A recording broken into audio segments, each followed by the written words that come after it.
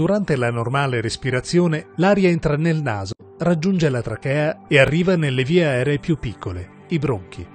A loro volta i bronchi si suddividono in bronchioli e poi in minuscole e delicate sacche unite in grappoli chiamati alveoli. La broncopneumopatia cronica ostruttiva, o BPCO, comprende un gruppo di disturbi che provocano una riduzione del flusso di aria ai polmoni e problemi respiratori. L'enfisema è una malattia che distrugge gli alveoli e i condotti alveolari. Poiché il polmone perde elasticità, gli alveoli si rompono e si creano ampi spazi che fanno ridurre la superficie respiratoria necessaria all'organismo per catturare l'ossigeno ed eliminare l'anidride carbonica. La bronchite è un'infiammazione del rivestimento dei condotti bronchiali. La bronchite cronica è dovuta a un'infiammazione persistente di queste vie respiratorie vi è una continua produzione di muco e col passare del tempo il rivestimento dei condotti bronchiali si spessisce, causando una riduzione del flusso d'aria durante la respirazione.